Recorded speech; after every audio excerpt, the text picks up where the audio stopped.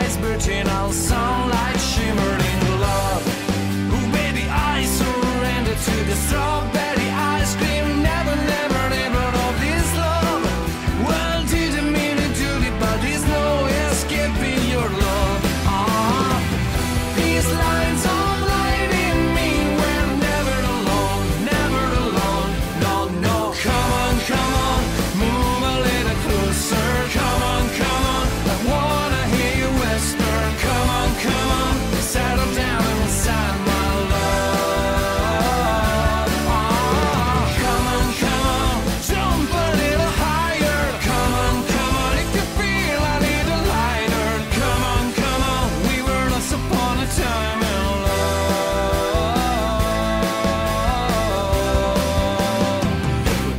generally in love.